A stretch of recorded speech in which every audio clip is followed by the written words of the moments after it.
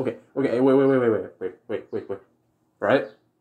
Stasis, alright? You, you seen the, I think it was the hunter in the trailer, right? Throw a grenade, he can make something that's physical in the Destiny world, right? And that, like, you know, make it as a wall or outside, like a platform, right? And Destiny did say they want to start taking notes from other games. So, they copied fucking Fortnite Battle Royale!